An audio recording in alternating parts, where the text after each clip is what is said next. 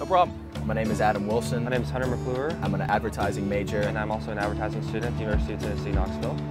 At Benojo, it's been a whirlwind. Right now they're small and they're growing, but it's been an amazing opportunity to really get to ride the crest of their business with them.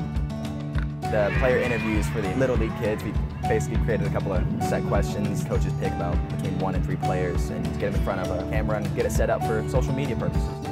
Most of them are nervous. There's a select few that get into it and give really in-depth answers, but this last team was ecstatic. It's really a phenomenal experience because you're getting to see what you're taught in the book and then you're being able to take it and implement it immediately. It makes it easier because you're actually seeing it in the real world. I wanted to get involved with research and sponsorship, potentially working for an ad agency. And baseball down here isn't as popular as it is back in the States. It just gave me a good opportunity to get versed in all aspects. Studying abroad is a life-changing experience. We got to do so many different things around the country. We got to study at a prestigious university here in Australia at the University of Sydney. It's definitely been a big adjustment. My town only has 10,000 people and there's 5 million people in Sydney, so it's definitely more of a metropolis than anything else.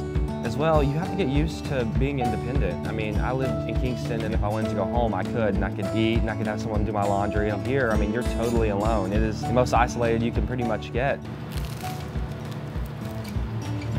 Have tried that Vegemite. What was it like? It's terrible.